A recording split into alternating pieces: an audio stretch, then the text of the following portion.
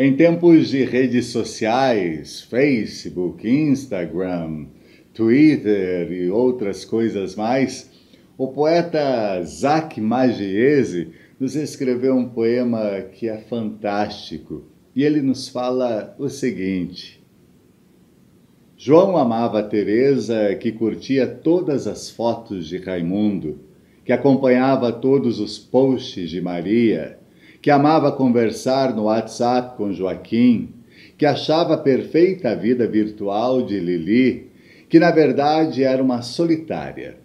João foi para os Estados Unidos, Teresa deletou a sua conta, Raimundo criou um perfil fake para continuar seguidor. Maria foi bloqueada, Joaquim se sentiu invisível e Lili parou de falsificar felicidade que às vezes se encontra no mundo real. Zac Magiese.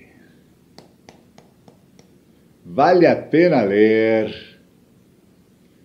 Aproveita também e dá uma conferida neste outro poema. Tenho certeza que você vai gostar.